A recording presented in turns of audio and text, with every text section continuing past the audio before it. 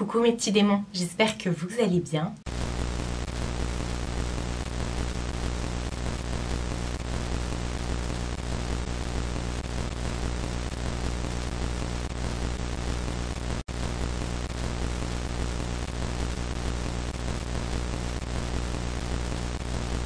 On se retrouve aujourd'hui, une fois n'est pas coutume, pour vos histoires paranormales. Vous savez que tout au long du mois d'octobre, on va se retrouver une fois par semaine pour raconter vos histoires paranormales. Vous retrouvez toujours en barre d'infos mon adresse mail, mais que je vous mets aussi ici. N'hésitez pas à m'envoyer sur cette adresse mail vos histoires, vos anecdotes, voilà, qu'elles soient longues ou pas, même si c'est pas forcément des histoires, mais des petites anecdotes sur des ressentis et tout. N'hésitez surtout pas à me, à me contacter par mail et je me ferai un plaisir de lire dans une de mes prochaines vidéos votre histoire, votre mail, enfin votre ce que vous m'envoyez. On est ici pour juger personne, pour ne juger personne. Donc n'ayez aucune crainte si vous souhaitez rester anonyme, il n'y a pas de souci.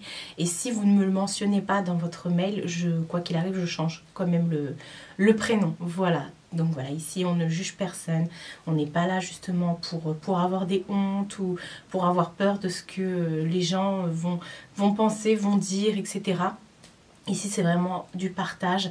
On est là, pourquoi pas, pour analyser, pour voir si on n'a pas vécu euh, la même chose entre nous. Et moi, avec mon ressenti, je vous dis euh, ce que j'en pense, euh, voilà, même si j'ai pas vécu la chose, mais ce qui me vient comme ça à l'esprit. Donc aujourd'hui, on va partir sur trois vidéos, comme toujours. comme je le disais la dernière fois, j'ai pas pu tout noter parce que j'enchaîne les vidéos paranormales. Donc ce sera des, je lirai sur mon téléphone vos vidéos, tout simplement. Donc c'est parti pour la première histoire.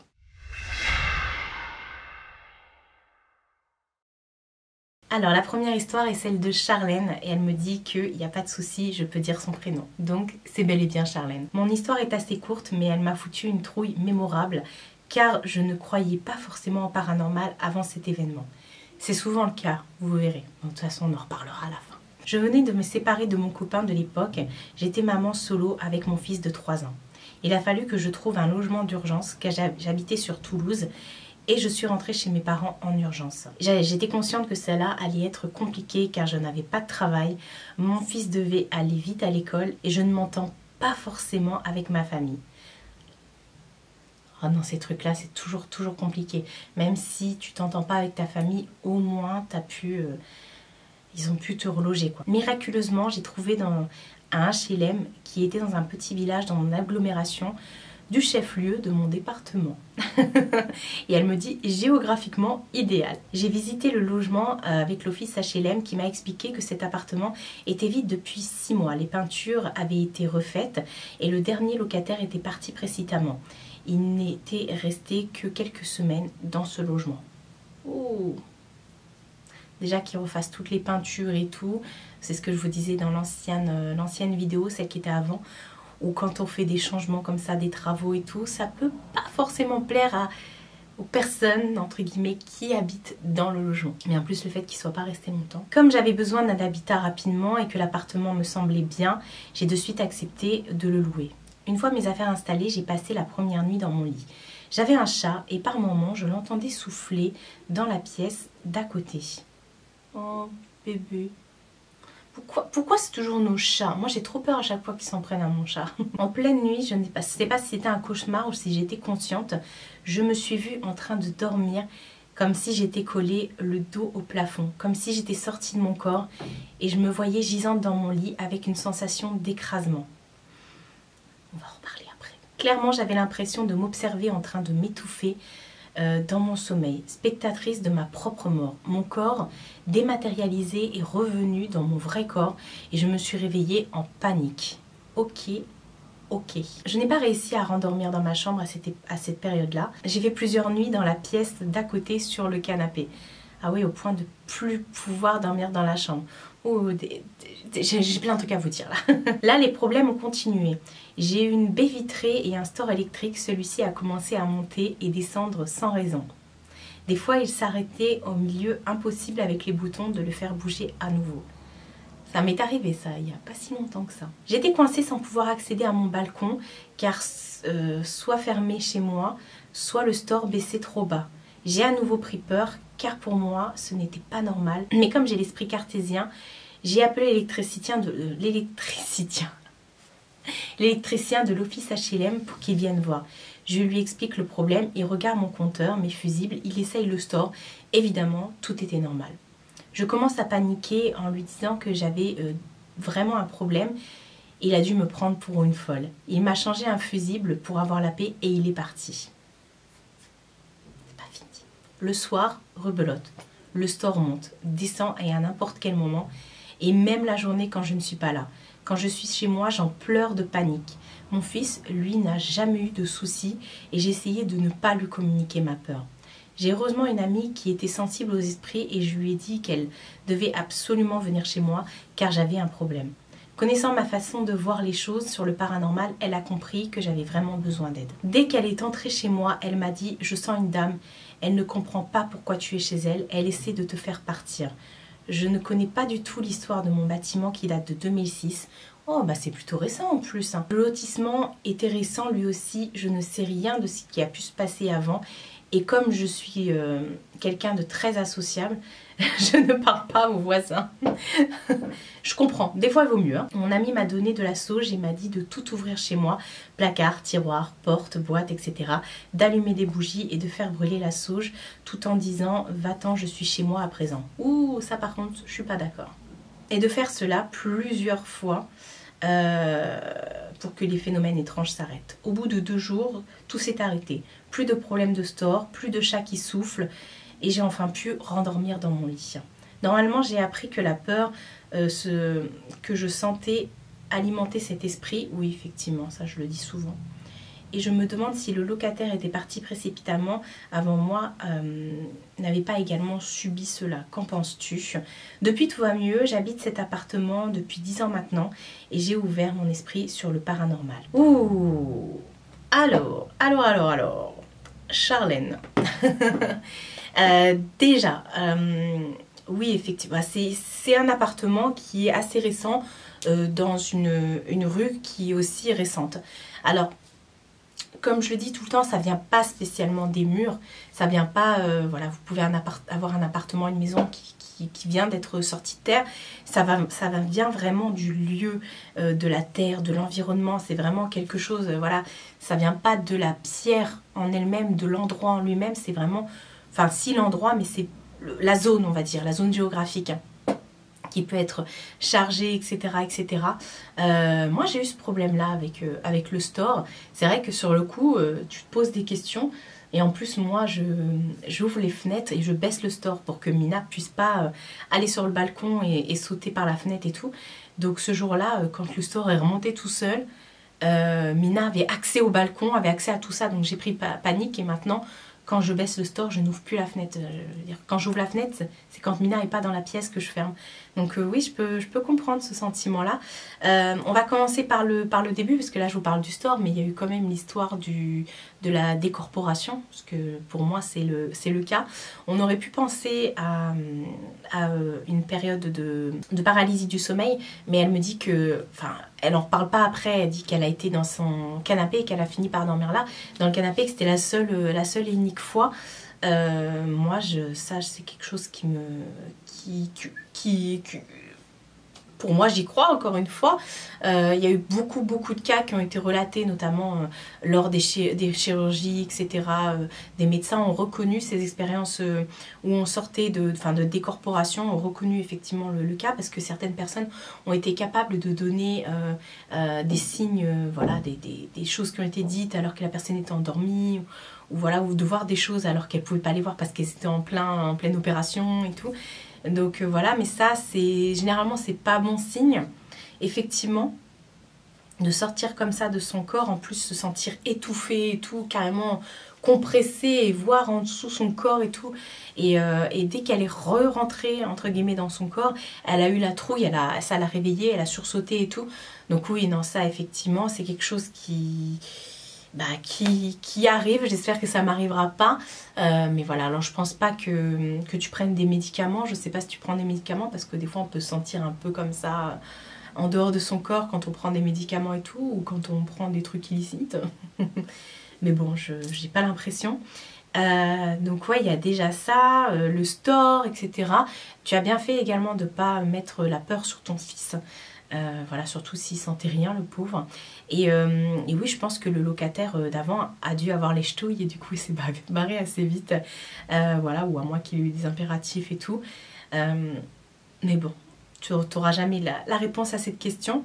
Et, euh, et, oui, effectivement, quand, euh, quand vous voulez purifier un endroit comme ça, il faut ouvrir tout, les portes, les placards, les fenêtres, il faut faire le tour de tous les encadrements. Il faut ouvrir en grand pour que ça puisse justement partir, mais pas dire va-t'en de chez moi. Ça, c'est un truc à les faire bondir et à les faire euh, s'énerver de ouf. Quand je dis ils, c'est les, les, les, gens, les invisibles et les, les fantômes, les spectres, vous les appelez comme vous voulez. Non, il faut, il faut justement faire des prières, euh, demander euh, la bénédiction, euh, la, purification de l'endroit, voilà, demander à, être serein. Vous n'êtes pas obligé d'être dans une religion pour faire ça. Vous pouvez faire votre sauge en disant, voilà, je, demande une protection, je demande à, à, ce que mon endroit soit sain, soit protégé, à ce que ma famille soit protégée. Voilà, il faut oublier aucun recoin, aucun encadrement de porte, de fenêtre, de placard, de tout ça. Et euh, bon là, ça a marché, c'est très très bien, mais euh, ne surtout pas euh, y aller à base de va c'est chez moi, parce que là, c'est considéré clairement comme un appel à la guerre. Là, enfin voilà pour la première histoire, on passe tout de suite à la deuxième histoire. Alors cette histoire, je ne sais pas si je peux la citer, mais on va l'appeler, je sais quoi, je cherche des prénoms, on va l'appeler, on va l'appeler Nathalie, voilà. Et elle me dit, allez, j'ose. Voilà. Bonjour Marie, je reviens vers toi car il est temps pour moi de parler. Je sais que je suis réceptive, peut-être même très réceptive. Ah, on va découvrir ça ensemble. Petite, on m'appelait la sorcière et ce n'était pas méchant, mais personne ne, donnait de l'importance à mes dires et à mes ressentis. Il a fallu attendre presque 40 ans pour qu'enfin une personne me rassure et m'entende. Ouh là. Je me suis mariée à 40 ans après avoir connu 15 ans d'une relation. Euh, je suis restée 3 ans seule avec deux garçons et ensuite j'ai rencontré mon futur mari. Elle me dit c'est long, excuse-moi, il faut replacer les faits. Pas de problème. Donc voilà, le grand jour arrive, bonheur immense et au moment d'échange des vœux, c'était tellement magnifique. J'ai senti comme une petite bulle claquer dans ma tête, petite bulle de bonheur, enfin je ne sais pas. Euh, j'en parle et là, comme toujours, on me répond toi et tes ressentis et tes sensations. Malheureusement, tout le monde n'est pas, ouvert, n'est pas réceptif, donc euh, ne peut pas forcément comprendre. Mais alors, si vous n'êtes pas réceptif justement et, euh, pas du tout dans, ce genre de choses, ça sert à rien non plus de juger ou de rabaisser la personne qui y croit. Bref, pas comprise et pour la énième fois, mais c'est normal, euh, comment répondre à un ressenti C'est sûr, mais c'est ton ressenti, donc les gens n'ont pas non plus à, euh, à euh, justement à, à vouloir ressentir à ta place ou à vouloir te faire ressentir autre chose. Je sais qu'il se passe quelque chose. Souvent, j'ai dit et redit, je, je sens le feu en moi, je pleurais petite en disant maman j'ai chaud de l'intérieur. D'ailleurs, adulte, au repas de famille, on parlait de tout ça. J'en souriais, je me disais c'est vrai, arrêtez d'en rire. c'est dingue quand on n'est pas. Quand les gens sont pas ouverts comme ça. Donc, à peine dix jours après mon mariage, paralysie faciale.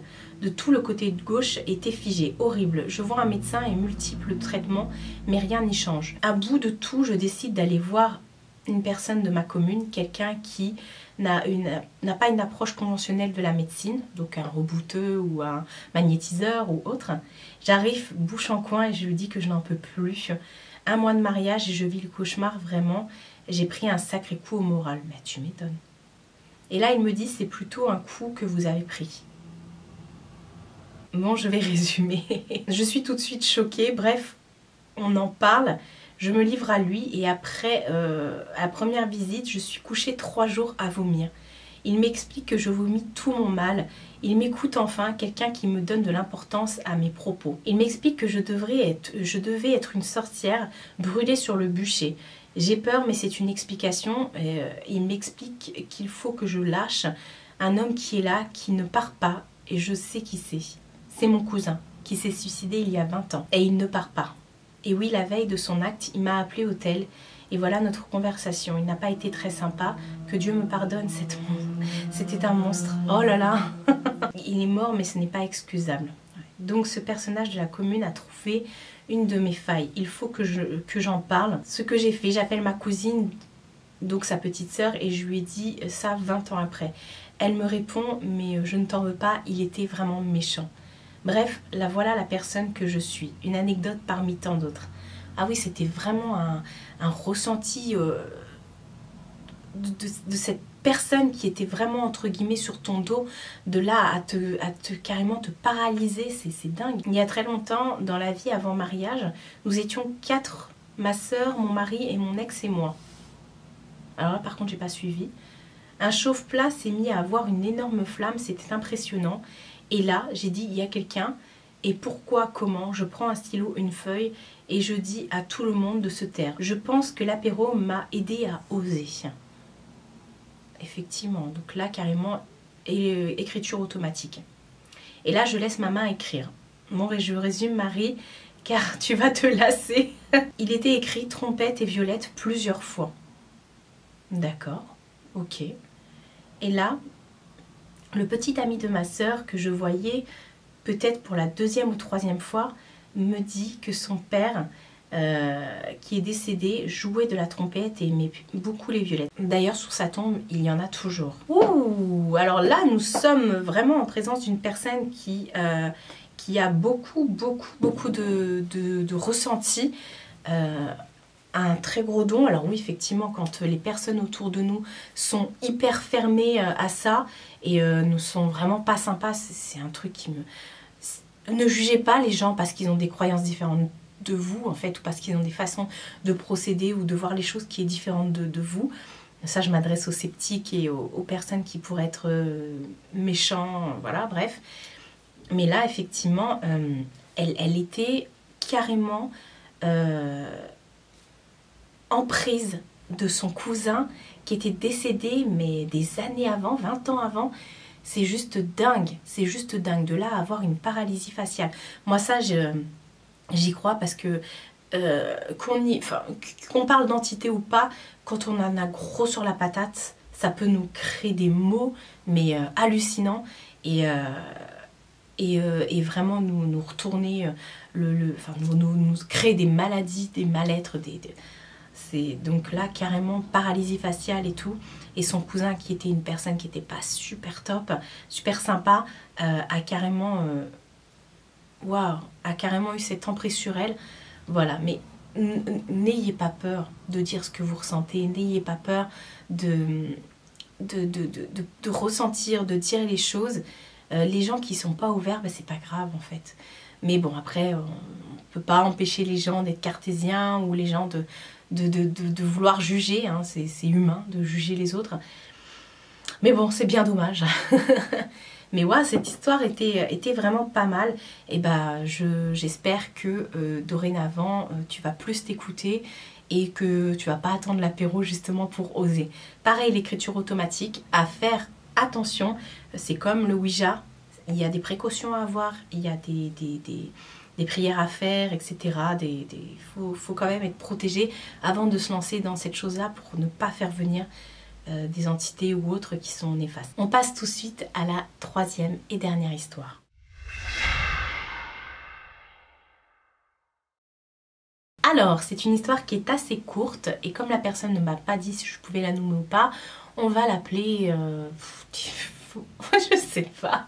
On va l'appeler Marie, tiens, comme moi. Allez, go. Elle me dit, mais t'est arrivé plusieurs histoires paranormales. Je vois des choses souvent pendant mes rêves et de temps en temps en dehors. Mais ça fait toujours très peur. Mais je vais te raconter une en particulier. J'étais très proche de mon grand-père. Il est mort un 12 septembre. J'étais très jeune et quelques années après sa mort, j'ai rêvé de lui. C'était il n'y a pas si longtemps que ça, le 12 septembre. Quand même, mais bon. il était dans une pièce blanche. Je me suis assise à côté de lui et il m'a parlé, dit des choses que je n'aurais jamais pu savoir. Je me suis réveillée en pleurs. Ma mère a accouru dans ma chambre et m'a dit Oui, ma fille, c'est l'anniversaire de la mort de ton papy. On était le 12 septembre et je ne le savais pas. Et dernièrement, il est réapparu dans mes rêves. Il était à l'arrêt de bus et on le prenait ensemble quand il était encore parmi nous. Belle petite anecdote. Hein. Et là, elle me dit, euh, Marie, tu vas souffrir terriblement souffrir, mais ça n'est pas ton heure. Oh, papier est là pour te protéger. Je dois y aller, je ne peux pas venir. Il est monté dans le bus et je n'ai jamais réussi à monter. Le bus est parti. J'ai essayé tant bien que mal de le retrouver dans le bus, dans le bus suivant, mais il n'était plus là. Le lendemain, je me réveille, colique néphrétique pendant une semaine suivie d'une septicémie. Oh, j'ai terriblement souffert, mais comme il me l'a dit, ce n'était pas mon heure. Je pense que c'est mon ange gardien. Rien que de l'écrire, j'en ai les larmes aux yeux. Mais je crois tellement qu'il est encore là et qu'il me protège. Eh bah, Eva. Alors oui, déjà, je vais te le, te le confirmer. Je pense que ça peut être... Alors peut-être pas ton ange gardien, mais c'est un, un, être qui te protège. Oui, moi j'aurais dit ange gardien. Oui, j'aurais dit ange gardien. Euh, tu as de la chance de pouvoir euh, le voir dans tes rêves, euh, même si c'est pas quand tu le souhaites ou voilà, c'est pas quand tu le, quand en as envie. Et, mais il sera toujours là, je pense, pour te, pour te protéger. Et c'est bien d'en être consciente et d'être ouverte à ça surtout. Euh, alors la septicémie, je connais, hein, c'est ce qui m'a fait tomber dans le coma, moi. Donc je peux comprendre. Euh, oui, effectivement, c'était pas ton heure, mais il t'a quand même, euh, il t'a quand même euh, prévenu. Et, c'est cool qu'il puisse venir comme ça dans tes rêves, que vous retrouviez dans des endroits comme ça, soit anecdotiques comme l'arrêt de bus, ou soit dans une pièce blanche, ou voilà, c'est plutôt cool. Et euh, je comprends que quand t'en parles, t'es les larmes euh, qui te montent comme ça, mais et plutôt le sourire. Et plutôt le sourire. Et puis même si tu le vois que dans tes rêves, n'hésite pas euh, dans la journée comme ça à lui dire coucou papy, je pense à toi. Attends pas des dates en particulier. n'hésite pas, même si les gens te regardent, voilà, enfin fais ça chez toi au pire quand tu toute seule, mais n'hésite pas à lui parler, euh, à lui dire voilà, euh, aujourd'hui je te souhaite une bonne journée, tiens, aujourd'hui euh, j'ai rendez-vous à tel endroit, ça me fait plaisir, j'espère que tu penses à moi, ou tiens, aujourd'hui je vais faire ça, je pense à toi, enfin voilà, c'est des petits trucs, mais ça je le disais souvent, enfin je vous l'ai dit souvent, n'hésitez pas à mettre une petite bougie, une petite fleur, en hommage, voilà, je vous demande pas de faire un hôtel consacré à vos défunts, quoique ça se fait beaucoup aussi dans certaines religions, mais, euh, mais voilà, n'hésitez pas de temps en temps à mettre, euh, même si euh, c'est anecdotique, mais si la personne aimait bien un petit un petit chocolat au caramel, enfin j'en sais rien, vous savez, mi-choco, j'en sais rien, bah, de temps en temps vous pouvez en poser un, même s'il va rester là, on ne sait pas, ça se trouve il va disparaître ce mi-choco, mais, mais n'hésitez pas en, en, lui disant c'est pour toi, je pense à toi, ou voilà, c'est n'attendez pas des dates précises, mais voilà, en tout cas, tu as de la chance parce que je pense qu'il est avec toi. Et j'espère que la santé, ça va mieux, surtout. Et, euh, et voilà, c'est une très très belle histoire. Je fais vite parce que j'ai plus de batterie. Mais voilà pour les trois histoires euh, paranormales que vous m'avez envoyées. Encore une fois, n'hésitez pas à m'envoyer vos histoires, vos petites anecdotes. Ça me fait énormément plaisir de vous lire en vidéo. Et vous aussi qui regardez ces vidéos, je sais que vous adorez ce genre d'histoire. Voilà, n'ayez crainte, on n'est pas là pour juger qui que ce soit. Vous avez la boîte mail dans la barre d'infos. Et euh, que ce soit dans la prochaine vidéo ou dans les autres, votre histoire sera racontée. Prenez soin de vous et prenez soin de votre entourage. Je vous fais de très gros bisous et je vous dis à bientôt pour une prochaine vidéo.